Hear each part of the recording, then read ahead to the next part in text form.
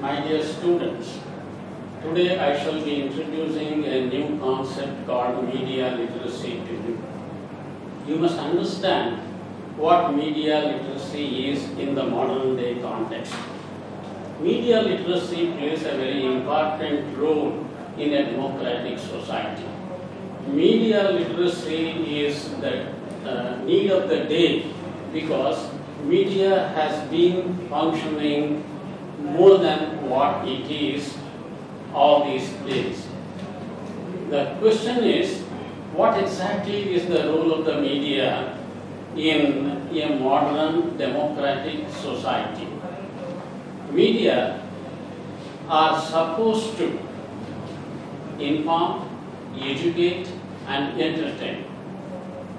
Information is fine, education is required, entertainment has become all the more important these days.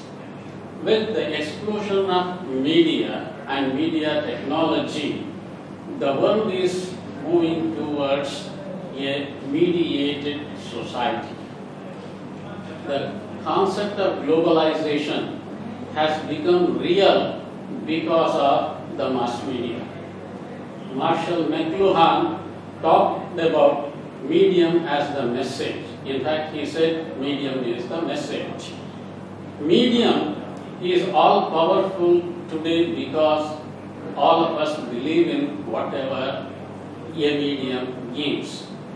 Media literacy means trying to understand what mass media do to the people. Most of us do not know how media operate in a society. It is mysterious, it is glamorous. But the effect of media messages is enormous. People have faith in mass media. We know that mass media are called as the fourth estate. In fact, it was called uh, as the fourth estate because of the press, which played the role of an opposition in a democratic polity. But with electronic media coming into the picture, we have started using mass media in place of the press. Apart from the legislature, the judiciary, the executive, the mass media are considered to be a pillar of a democratic nation. By the time that we have gone into uh, a new era of globalization, a new era of technological determination, a new era of media becoming very powerful, the role of the media has to be scrutinized. So, where exactly we have to do it, it is not with anybody else, it is with the audience. The audience are considered to be very passive. No, audience are dynamic. Audience will have to take care of the media performance. Media, when they perform, they do not bother about the audience because there is something called as pluralistic ignorance among media persons. The reason is simple. Media people, they brush shoulders with the people in power. They think that they are powerful. They think that uh, they know everything. And at times, they become cynical also. The cynical aspect of mass media persons is a cause of worry for all of us. It is okay to be cynical, but it has to be healthy cynicism. But unfortunately, it, it is leading us to put the audience down. So the question is how to make them understand what should be their role. Nobody can do it because it is only the audience who can do it. If the audience reject a particular media outlet, then they will understand the power of the audience. We must also remember that audiences are dynamic, they are not passive. But in a country like India, where the rate of literacy is not, a, not even 60 to 70 percent, there is a very need for us to educate the people about the media. That's why media literacy has become important. One of the basic principles of mass communication is that mass media should play the role of a guardian angel of the society. Unfortunately, the days of corporatization have loomed large and they have taken over uh, the role of the guardian as a commercial role. Profit motive is uh, very important for them. We call this as corporatization of mass communication or what we call as media operation. The basic premise behind corporatization is make money and make more money. And this is not the exact role of mass media. Yes, to survive, mass media should become commercial, should make money, but at the same time, they should not avoid their social responsibility. Mass media is a uh, mass communication rather is a profession where social responsibility is equally important. So, who should bell the cat? It is the audience. It is not the question that nobody can bell the cat, it is the audience. They have to understand the role and operation of mass media. The mass media, in pursuit of profit, have forgotten the ethical principles of mass communication. The ethical principles say mass media should be objective, mass media should be fair, and mass media should be truthful. Again, the question is how far mass media are truthful? Are they telling the truth? Or are they telling partial truth? Or are they camouflaging the truth in the guise of making profits for themselves? It appears corporatization has taken its toll of the social responsibility duty of the mass media. Mass media have to be ethical, they have to be moral because the society depends upon them for guidance.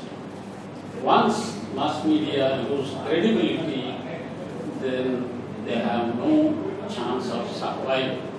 Unfortunately, in a country like India, where there are hundreds and hundreds of television channels, hundreds and hundreds of radio stations, and almost 100,000 newspapers and magazines, which is quite contrast with the Western media scenario. We have to understand that we have to be on our watch to tell them look what you are doing is correct or what you are not uh, doing is, uh, what you are doing is incorrect. That is how we have to put it. The question of objectivity is very important. Long, long ago, uh, the famous editor of Manchester Guardian, C.P. Scott, made a statement facts are sacred, comment is free. Unfortunately, today in the rat race for influencing people, we have taken to what is known as advocacy journalism, where facts and opinions are mixed and a hybrid news content is given. I think this is where people have to be very careful. Today, we must understand news is a product, mass media are a manufacturing industry. they manufacture facts and also opinion.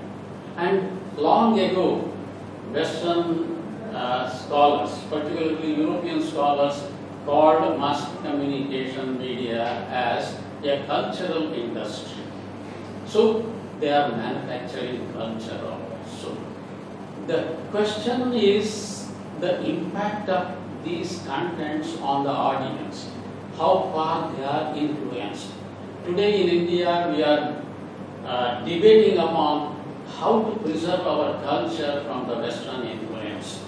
The young people who are exposed to new technology, particularly new media, they are becoming more and more westernized. Our value system, our culture will have to be taken care of, but there appears to be a slight deviation from what it should have been. It doesn't mean that we should not expose our children to the outside world. They should know everything, but at the same time, we have to safeguard our value system. What is good from the West should be taken, what is not good should be discarded. Unfortunately, it appears a particular section of youth, highly urban, they are becoming influenced by the Western media. It is not to belittle the intelligence level or reception level of our young people. And once objectivity is lost, everything is lost. But in today's journalism, is objectivity a myth? Long ago, I wrote an article, The Myth and Death of Objectivity in Journalism. Is it true? The media, as the fourth estate, if they start overruling the other three estates, what will happen to democracy? Today, trial by media has become common and people have started grumbling. Their reputations are at stake, their family life is at stake because rumors are manufactured and they are distributed without impunity.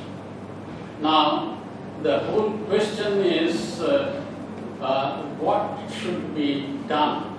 There are three vulnerable sections in the society we have to understand.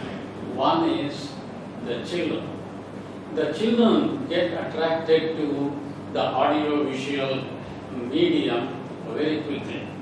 Television.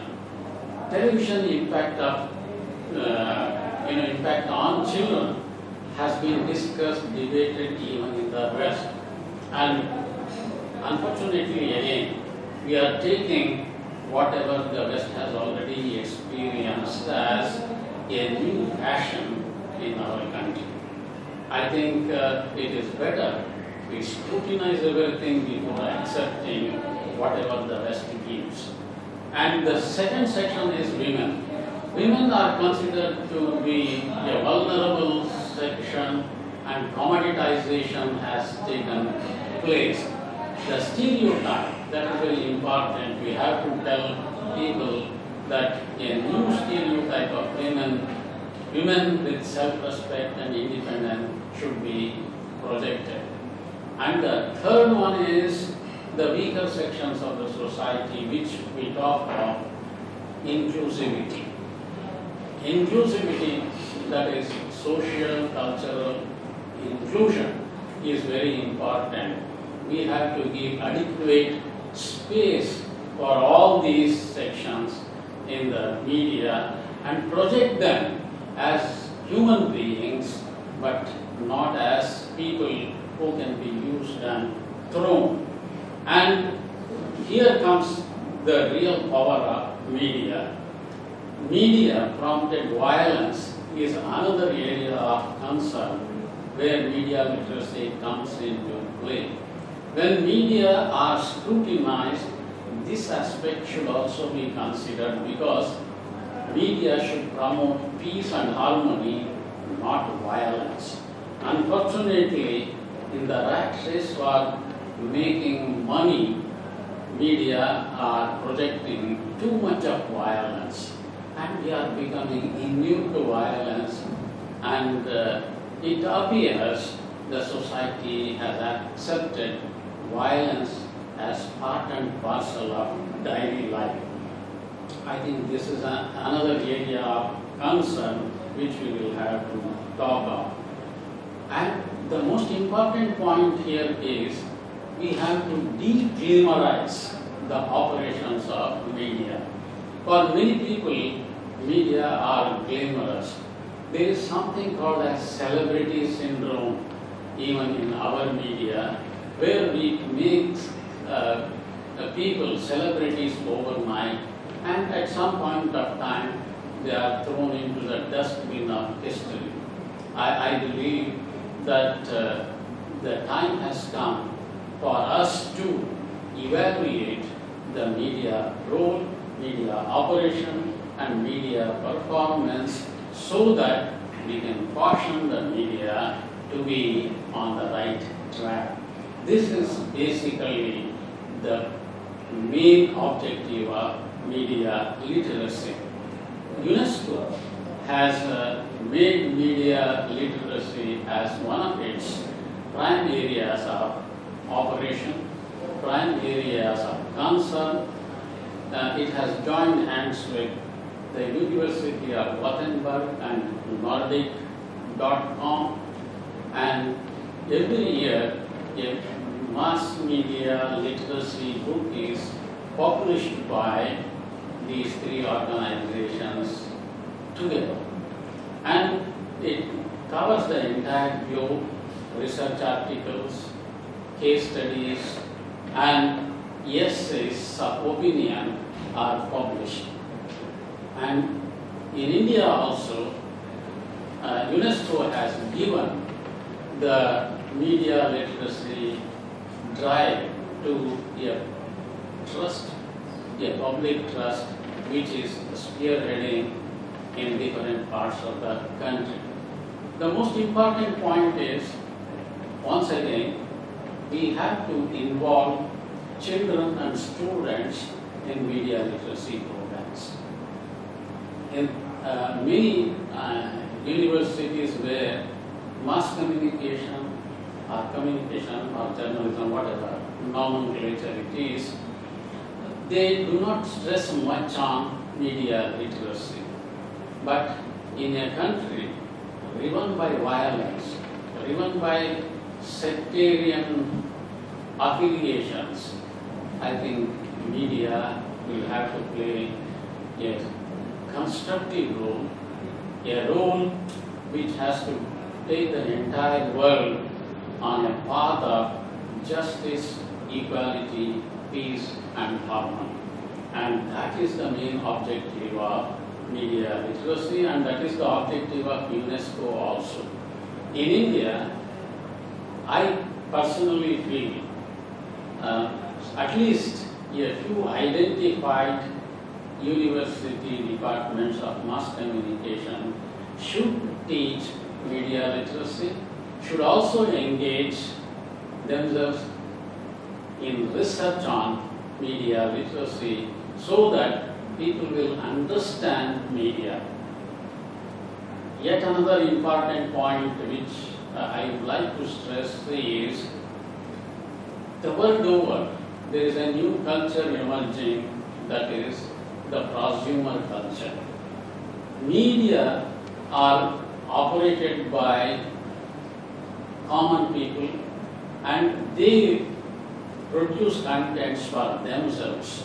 That is producer consumer culture. That is what we call as prosumer.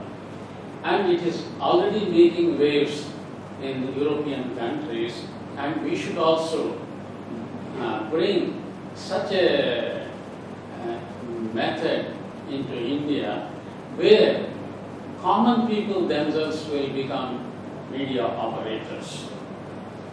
And citizen journalism is one point in such a direction, but it is done by the major media houses and the professional angle of citizen journalism is always talked about because many people think that citizen journalism does not have the professional aspect in it.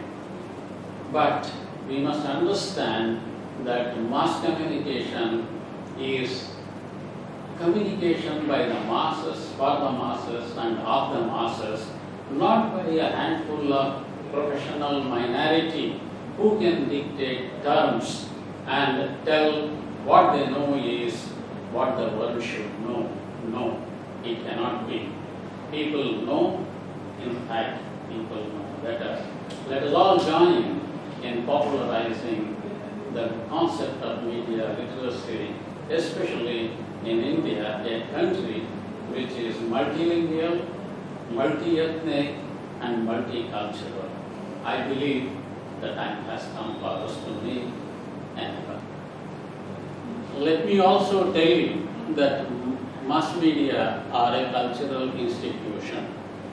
And mass media, when they put out their programs, they are reflecting the culture of the society in which they operate. The other three institutions are uh, school, family, and religion. But all of them are intertwined in a way because culture is not a product of a single institution. It is a collective production of all the four institutions which we call as institutions of culture. Mass media, they not only produce culture but also reflect culture. And here media literacy is uh, in, it is uh, intertwined with uh, uh, culture because people see everything through their own eyes. I mean the cultural eyes. Because their socio-cultural background gives a definite perception of the content. Each individual with a different socio-cultural background may perceive everything differently. That is where I think uh, media literacy has to be uh, investigated in conjunction with the other three institutions. We can't ignore the peer group influence which happens in the school. We can't ignore the influence of the teacher on the young minds. We can't ignore the impact of religion. And all these, the family, the family has got perhaps even greater impact than other three institutions. Media will have to work in tune with what people want. But it does not mean that we should give all bad things because we have the human instinct of asking for baser products. No. We have to be the signpost, we have to be the guidepost of the society. Here, media literacy plays a role because we are telling what exactly is the role of the media in a society like ours. One additional point is the emergence of new technology. New technology has made this world very small. Time and space have been conquered. Today, an alien culture can be seen on the internet, I mean on the computer screen because of the influence and availability of the internet. So the world is coming closer, but how to use this new technology for the welfare of the whole mankind? Unfortunately, the new media, particularly social media, are being used for bad purposes also. Particularly, the youngsters are using it to attack others. Cyberbullying that is becoming common across the country. Young children, children who are not even 8 to 9 years, they have their own social media accounts and they keep on attacking their classmates, their friends. And particularly, girls are being attacked, ladies are being, uh, you know, projected in a different way, which is not very decent. I believe that the time has come for uh, media people to have perhaps a social media brigade watchmen to see cyberbullying and such obscene projections are stopped. I know that uh, the digital world cannot be controlled, but it can be managed. And it is the responsibility of the entire society, not of one individual, because we are talking about people themselves becoming media persons. They should not only become media persons, they should also become media watchers, or to be precise, they should become watchdogs of media, so that media, particularly in uh, sensitive uh, situations, will not use it for making money out of the misery of the common people, particularly the vulnerable sections of the society. This is very important in the sense that media literacy will be taking care of all dimensions, all dimensions of mass communication, whether it is conventional media or whether it is new media, there should be a guarded filtering of the media contents so that our young generation will not get influenced by such bad contents. Media, conventionally, they were considered to be uh, with a mission of guarding the freedom of the people, the value system of the people, and supporting those underprivileged or deprivileged sections of the society. But in the rat race for making profits, there is slight deviation in the whole process.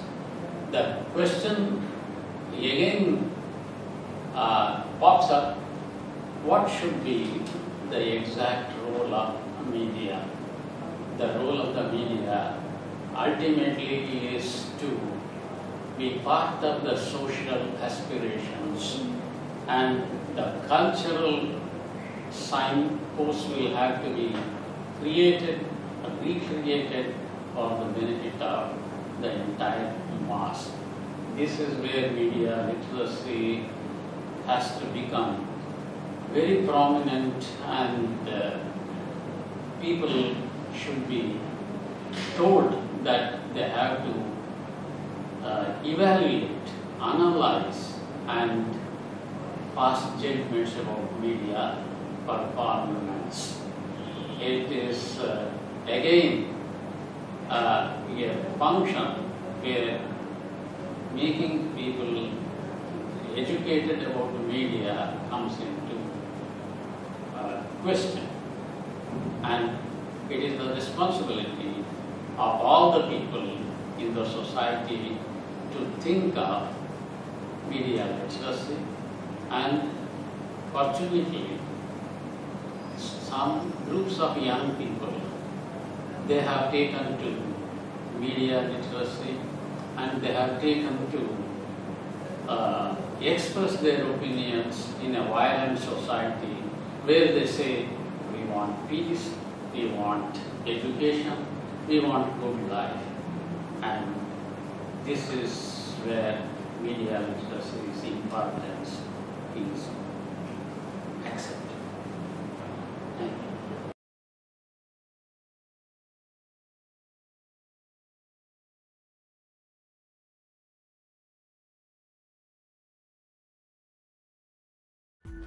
You.